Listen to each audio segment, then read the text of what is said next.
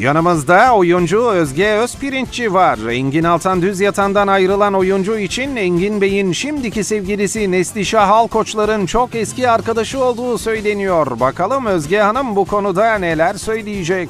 Sizin de yakın arkadaş olduğunuz söyleniyor. Bir yakın arkadaş Neslihan Hanım'la. Yok Mesut Hanım'la ben tanışmıyorum. Siz yanlış duymuşsunuz.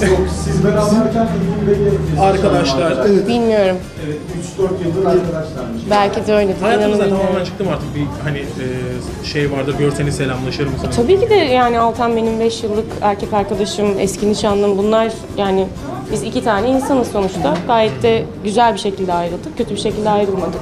Gördüğüm zaman tabii ki de selam veririm. Hatırını sorarım. O da aynı şekilde bana selam verir, hatırımı sorar. Ayrılıklarının ardından Engin Altan Düz Yatan'ın damatlığını başka bir arkadaşına hediye ettiği yazılıp çizilmişti. Meğer Özge Hanım'ın bu durumdan haberi yokmuş ve ayrılıklarının da üçüncü bir şahısla ilgili olmadığını söylüyordu. Ama Engin Bey kendisi söyledi. Damatlığı hediye ettim diye. O zaman Sizin de öyle mi yapmıştı, haberiniz yoktu? bilmiyorum. Benim de haberim yoktu.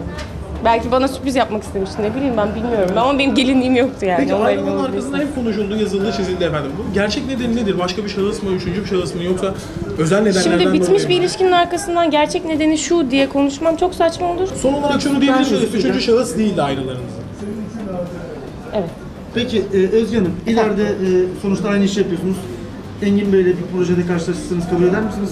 Tabii ki de benim kıstasım bu değil ki yani. Önemli olan benim istediğim bir rolü, istediğim yönetmenle, istediğim bir ekiple oynamak. Altan var diye ben bir işi kabul etmezlik yapmam tabii ki de. Peki Oyuncu. oynamak istediğiniz birisi midir Engin Bey?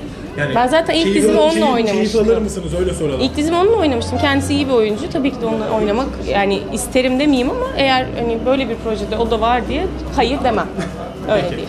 Peki teşekkür ederiz. Rica ederim. Kolay gelsin.